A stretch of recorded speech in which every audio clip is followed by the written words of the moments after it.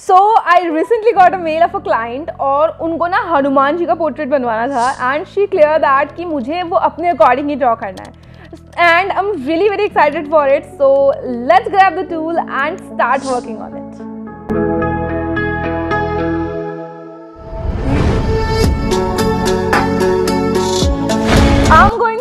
this artwork on A4 size paper and she only asked me for drawing Hanuman ji but I'm going to draw Ram ji as well because इससे ना ये artwork बहुत ज़्यादा magical हो जाएगा and you guys know that कि हनुमान जी के राम जी कितने ज़्यादा favorite हैं This time I thought about shooting the outline video as well but I forgot to on the camera while shooting और जब आधे से ज़्यादा outlines हो चुकी थी तब मुझे पता चला and my lazy ass don't want to shoot it again so I smartly skipped that part.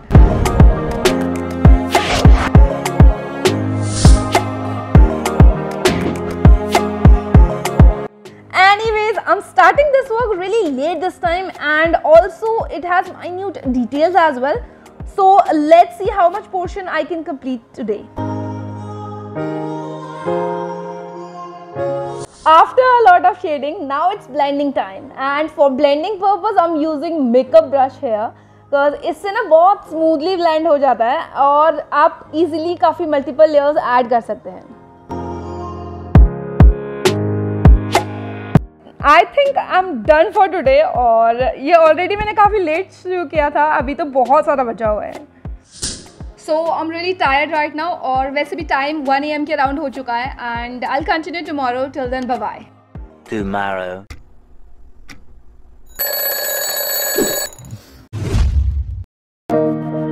So it's a day two end आज तो मैंने बहुत जल्दी काम शुरू कर दिया है एंड मेरे पास बहुत सारा टाइम है आज. So I anyhow try to complete this work today only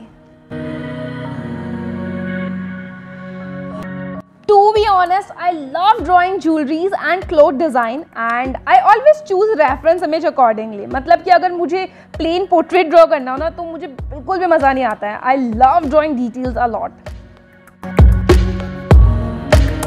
so finally i'm about to complete drawing hanuman ji and इसमें तो बहुत सारा टाइम लग गया है and after that i'm going to start drawing ram ji in the background okay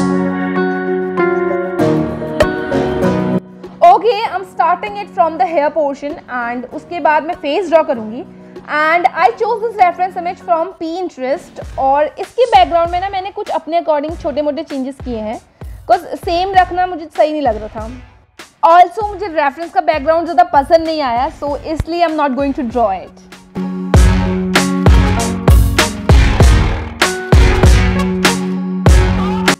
अभी तक ये जितना भी ड्रॉ हुआ है ना, मुझे बहुत अच्छा लग रहा है और ये वाइट बैकग्राउंड की वजह से ज़्यादा इन्हांस भी हो रहा है। It's about twelve A M right now और इसे बनने में काफ़ी ज़्यादा टाइम लग गया है। एंड थोड़ा सा डिटेल्स और रह गई हैं। Let see how much time it is going to take to complete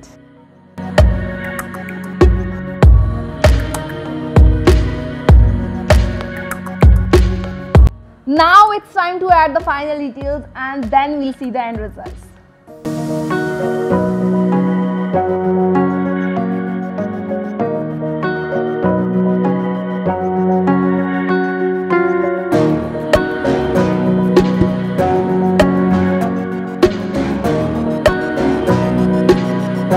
Okay, so here are the final results. Hope you guys like it.